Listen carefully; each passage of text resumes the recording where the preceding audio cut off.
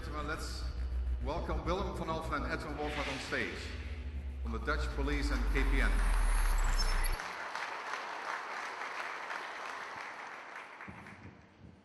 So, good morning. How are you?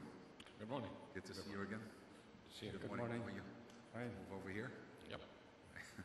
Otherwise, the audience over there can't see us. So, um, I guess, uh, Willem, you're the uh, process manager of 112, and I guess, uh, uh, Edwin, you're with KPN. So, please uh, introduce yourself real quick to the, uh, to the audience. Good morning. I'm Willem van Alphen, technical process manager of uh, 112, the emergency number for public services in the Netherlands. Um, with my team, we are responsible for the continuity of the service to the people. We never can't be there. We have always have to be there. Um, since we are heavily uh, depending on the system below it, of course, I'm also a member of the Change Advisory Board for the National Police, and in cooperation with the uh, other member states been, uh, within the European Union, I'm a lot in uh, abroad for new developments, best practices, and that kind of stuff. Okay, interesting.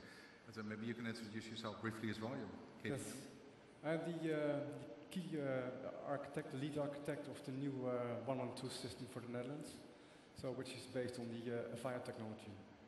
So Willem, let's start with you. So, so how does the um, we know it's very voice centric in the very in the very beginning. So how does the near future of uh, emergency services look like? Um, What's the- beyond the voice only type of? Yeah, we, we just started a new uh, project uh, at the moment to develop uh, 112 in the Netherlands, at least the call handling uh, system uh, of it. Um, basically, of course, we're uh, uh, on voice. Um, that's traditionally uh, in government uh, areas is, is a standard. Um, we're changing that now, addition of data to that. Um, location data, personal data, vehicle data, all kind of data that can help us um, determine whether it's a real call or uh, it's the severity of it, that kind of stuff. Um, location, of course, we are able to uh, we're able to order a pizza and get it delivered on the spot. But when we are calling 112 or 911 or whatever uh, emergency number, we are not. And that is strange. We should uh, change that. That's what we're going to change. And next to that, we are going to implement um, other types of communication, uh, real-time text, video, in European standards like uh, total conversation. Right. Uh, that's for deaf and uh, hearing impaired. We always try to broaden that a little by to speech impaired people who can't talk at the moment. They should be able to call to 112. Okay. So we, we heard a lot about e-call, right? And we can actually see it here in the uh, breakout session as well. So what is what is e-call? What does it mean, e-call? eCall for 112. eCall, basically, as I always say it, and I'm f- a process man, not a technical man, eCall is just an automated 112 call. Um, nothing more than that. Um, there's an automated call based on a set of sensors in the, in the car that can initiate a 112 call and deliver in a minimum set of data, a lot of data to it, uh, so that we can better find it. Uh, we know how many passengers are, on board, all that kind of stuff. Exact location, of course, that's one of the main main things. eCall, as we implement it in 2018, will be for all cars. Um, at the moment, most of us know already eCall in in the car, that, that's brand uh, bound. Um, Volvo, Mercedes, uh, whatever uh, brand you are driving, it has already an e-call. That's not the e-call we are implementing uh, in 2018. That's for all new cars. So the e-call is actually now integrated into the emergency services Yeah. desk. So if an airbag pops out, then it automatically initiates an IoT call, and then the emergency services desk will be able to, to handle that and they know Yeah. location Yeah. and so forth. Right?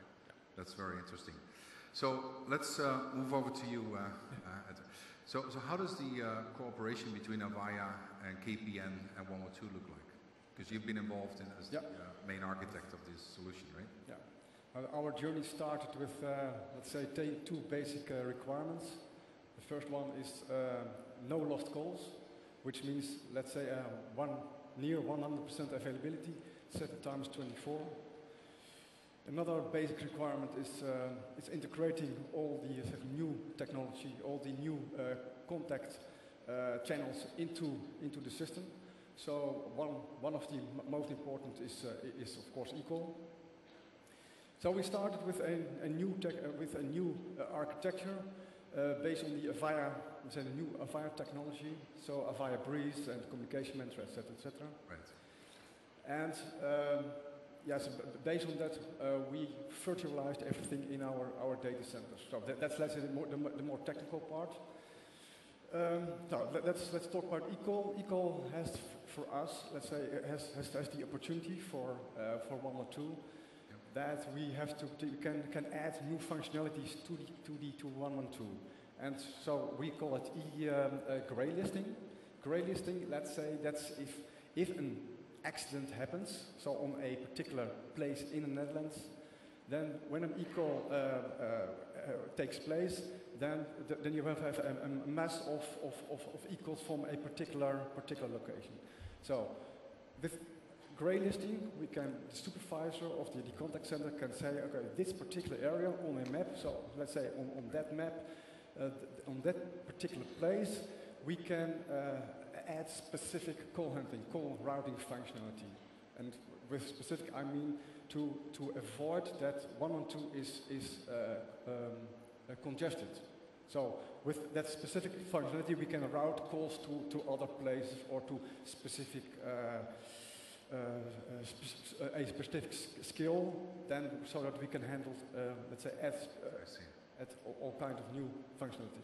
That's really interesting, yeah. So it's, it's really revolutionary, revolutionizing the way that we use uh, uh, emergency services, right?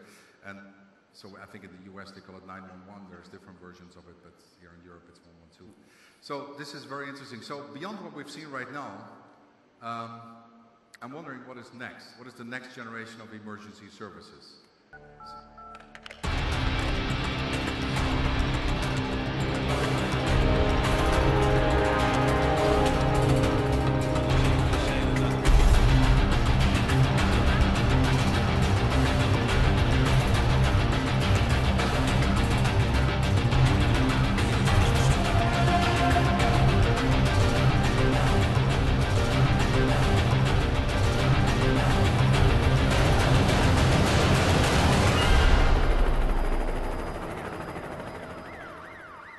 Whole thing, it can actually save more lives, which is interesting. So it's not only about revenue increase, but also saving lives. So this is very good. So thank you so much for uh, this was uh, this was very interesting.